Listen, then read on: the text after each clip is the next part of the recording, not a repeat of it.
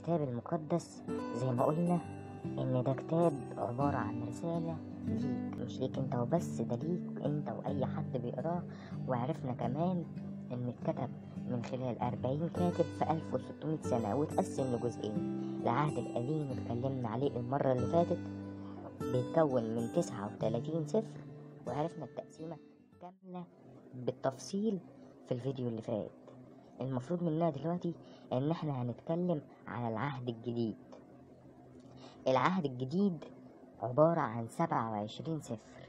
سبعة وعشرين سفر اتكتبوا كلهم باللغة اليونانية. بيتكلم عن إيه العهد الجديد؟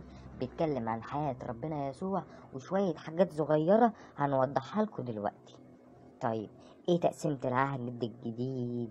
تقسيمة العهد الجديد بيبدأ العهد الجديد بالأناجيل الأربعة اللي هم متى ومرقس ولوقا ويوحنا وسفر أعمال الرسل اللي كتبه لوقا و14 رسالة لبولس الرسول وسبع رسائل الجامعة أو رسائل الكاثوليكون وفي الآخر خالص بنخش على سفر الرؤيا أو سفر يوحنا اللاهوتي أو يوحنا الرائي.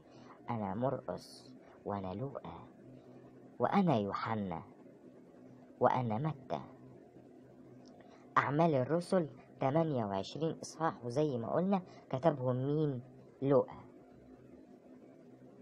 ودي سورة معلمنا بولس الرسول اللي كتب ال 14 رسالة.